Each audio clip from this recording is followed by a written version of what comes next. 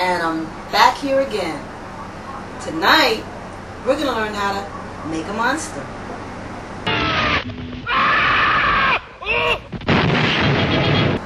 Now, we're going to make a weird monster using anything that we have.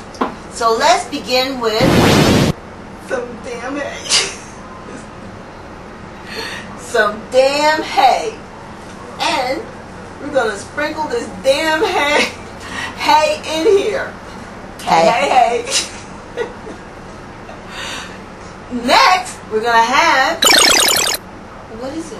Oh, oh, next we're going to have a mango seed.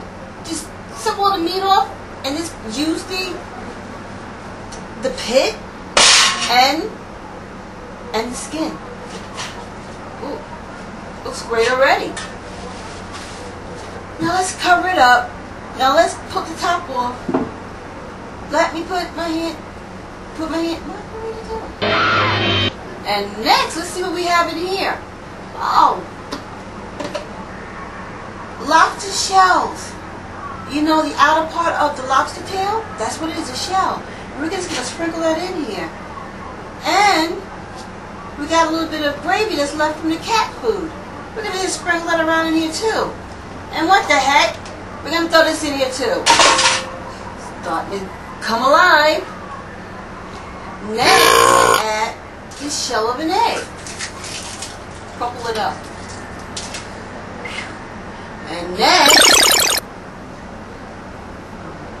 I don't know what the heck this, oh, shells of shrimp. And you just dump it all in here. Oh, start to sizzle. Hey, plastic is good too. It's a substance. Now,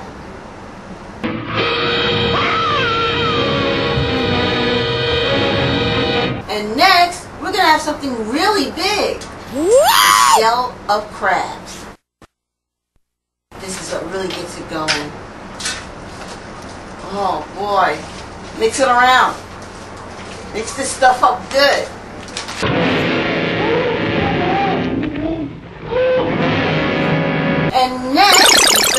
Brown paper bag. But we're going to do it even better. If you want this thing to really look gross, we're going to tear paper up into little squares. Oh, trying to tear it up. Oh God, I gotta get all this stuff in here. This pot's starting to get full.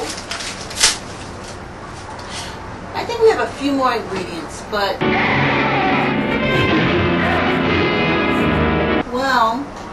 it looks good enough, so I think we'll cover it up now. So now we're going to take a piece of aluminum foil and cover it up. Nice little size piece. Then you take it,